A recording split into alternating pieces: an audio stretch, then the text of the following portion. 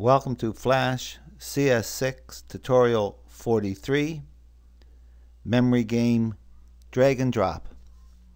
This tutorial is made for beginners uh, with Flash, meaning I'll go into a fair amount of detail. We're going to start by opening a new FLA. I'm ActionScript 3 and I'm keeping the default settings. And opening the main timeline.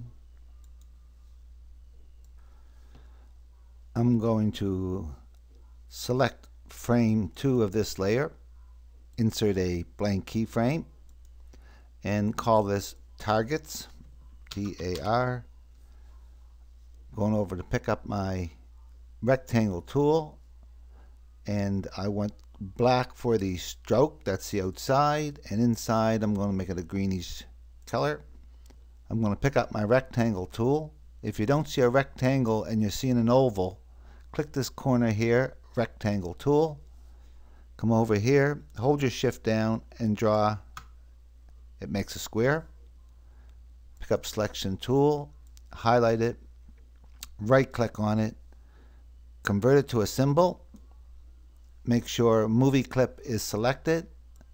Make sure you have the center registration clicked and call it TAR underscore MC and copy that name. I click copy it.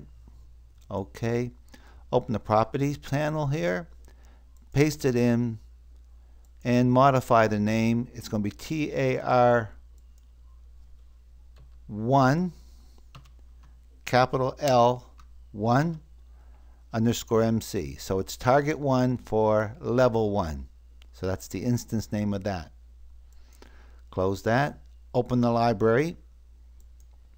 Grab that. Bring it in again. And bring it in again. So now we have three of those on the board. This one here, if I go back and check it again, it was tire 1 L1. Copy that. Select the second one. Open the properties panel. Paste it in. Make it tar2 L1 and click on this one, open the properties panel, paste it in, and make this one tar 3.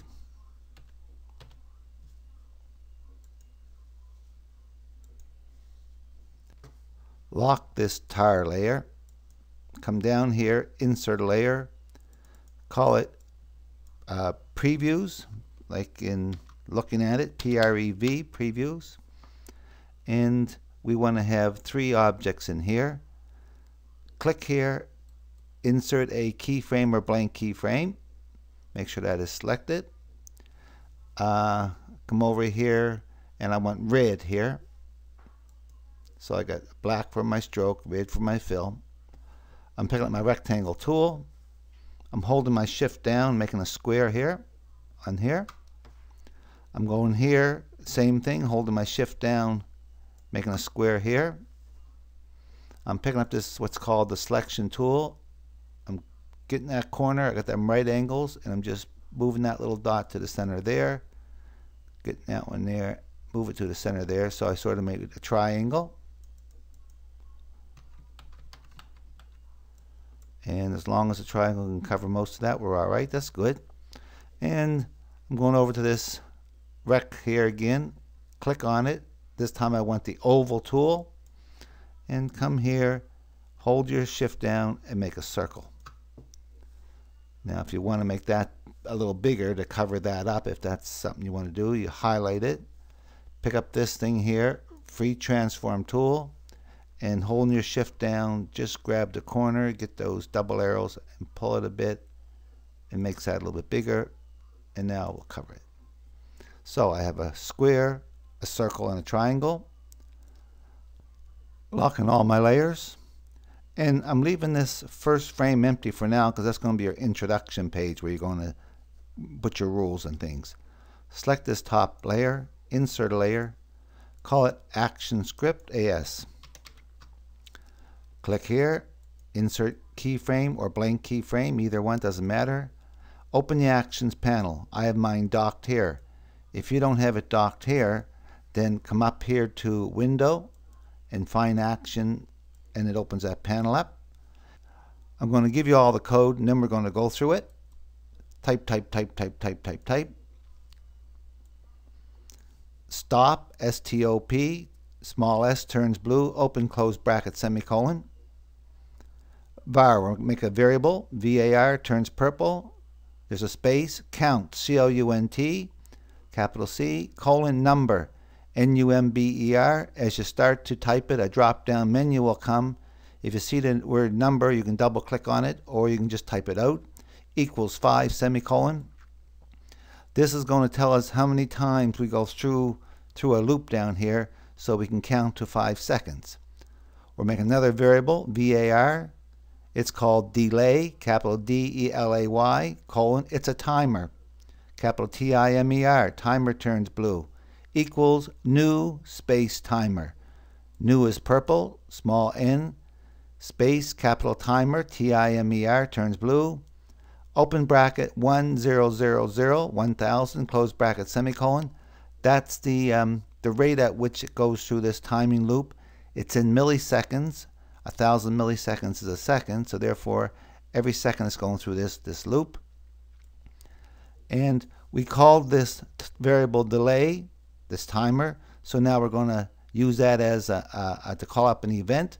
So delay period, add event listener, small a, capital E, capital L. That will all turn blue if it's spelt right. Open bracket, it's what's called the timer event, capital T, capital E.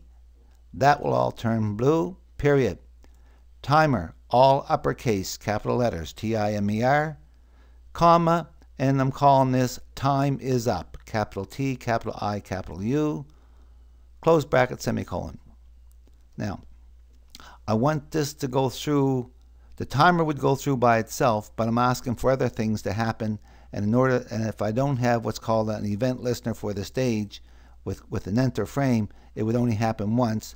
This way here it's going to happen uh, 24 times a second because that's our frame rate. So stage, S-T-A-G-E, small s, turns blue, period. Add event listener. You can copy that add event listener and paste it in here. Open bracket, event, capital E, V-E-N-T, period.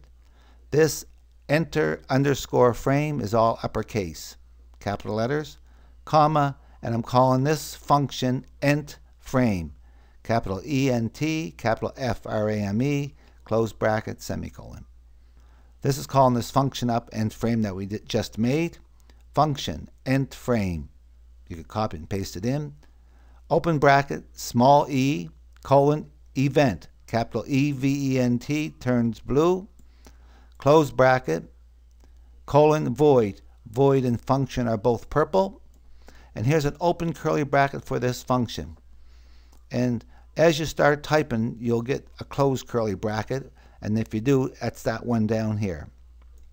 So the first thing we're going to do when we enter this frame the first time is that variable up here, this timer, delay, capital D-E-L-A-Y, period, start, S-T-A-R-T, turns blue, small s, open close bracket, semicolon. That starts this timer from starts this timer timing. While that is happening, we're going to make a text box. We haven't made it yet. It's called timer underscore text, capital T, period T-E-X-T. This T-E-X-T is blue, equals. And this is what's going to be contained in that in that uh, timer box. This this um, text box that we're going to make in a few minutes. Equals, quotation, the count is space quotation. When you see something in quotations, uh, that means them exact words are going to be what appears in the box. So there's a space here, there's a closed quotation, then plus, count, plus. The word count is a variable that we made up here, and that's a counter. So when it starts off, it's going to say the count is 5. Okay. Uh, then we have a, a, quotation mark, and then the word now, and a, a space here, quotation, space, now, period, close quotation, semicolon. So whatever the count is, that's what's going to be displayed on this. Now, let's look and see what's, what's happening here. if, this is a test, if open bracket count equals equals, two equal sign, zero, close bracket. So eventually it's going to go through this timer thing and through it and through it and through it. And each time we're going to make it one less, and eventually it will, it will reach zero, at which time something's going to take place. So open bracket, this open bracket's for this if. Go to and stop, small g, small t, capital A, capital S, turns blue. Open bracket, quotations, lev 1 answer, close quotation, close bracket, semicolon. We're going to give a name to a frame, and the name of that frame is going to be lev 1 answer, as in level 1 when we do the answer. At the same time, once we reach zero, we don't want this, this counter to count anymore. Delay, that's the delay we started up here, period, stop, S-T-O-P, open close bracket, semicolon, and there's a close curly bracket for the if, for this if, and there's a closed curly bracket here for this function. Now, under that, when the when the time of the of this 100 milliseconds is up, this is going to be a true thing. Function, time is up, open bracket, E, colon, timer event, capital T, capital E. That turns blue. Close bracket, colon, void. Again, void and function are purple. There's the open bracket for the function. There's the closed bracket for the function. So every second, every 100 milliseconds, by this up here, this this timer is up, that's this, this delay, every 100 milliseconds, that's what we said of that, which is a second, we're going to do two things. That delay that timer, period, reset. R-E-S-E-T, turns blue if it's spelled right. Open, close bracket, semicolon. And each time we go through that, we're going to make that count, that variable count, C-O-U-N-T, minus, minus, semicolon, which means decrement or take away one. So it's going to start off at 5, then it's going to go four, three, two, one. Eventually it's going to reach 0, at which time we'll jump to another spot. And if this open curly bracket for the function here and a closed curly bracket for that function. So when we test it, test movie, if I have no errors, I have an error. And I didn't make that text box yet. Timer text box. Lock all the layers. Select this prev layer, insert a layer. I'll call it text. T-E-X-T. Come over, there's a text tool here, here, select it, open the properties panel, make sure classic text is selected in this drop down menu.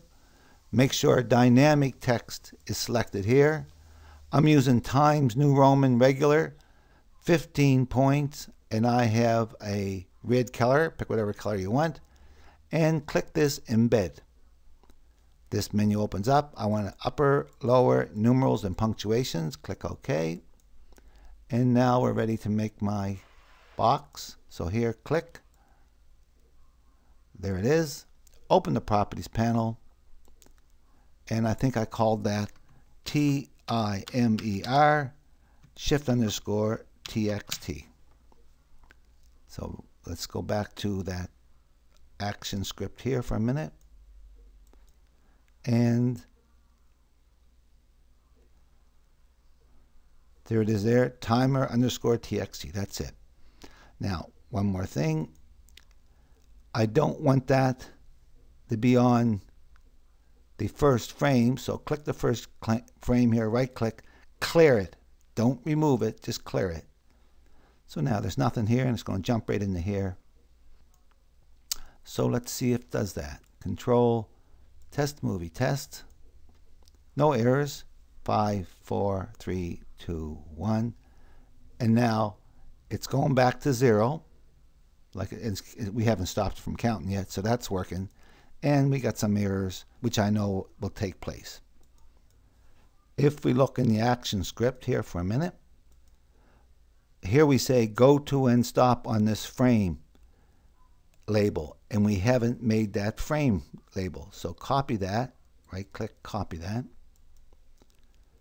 And that's going to be the next frame. So lock all the layers. Select this text layer, insert a layer, call it frame FRM LAB, frame labels. Select this third frame, insert a blank keyframe, open the properties panel, it says frame, and type in that name. So now we have that. Here, right click here on the text layer, right click, insert a keyframe, and I think that will allow us to do that. Test movie test. Five, four, three, two, one, zero. And there we stopped counting. That's zero. And we jump to that frame three. I think that's enough for this video. There's going to be a follow-up. It'll be Flash CS6 Tutorial 44 Memory Game Drag and Drop Part 2. If you plan on doing that Part 2, make sure you save this FLA. Hope you learned something from this tutorial, and I hope you use what you learned.